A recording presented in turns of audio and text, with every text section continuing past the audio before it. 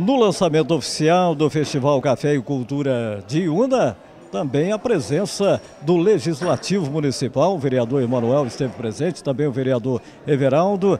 Emanuel, o resgate da cultura iunense é algo importantíssimo nesse festival, né?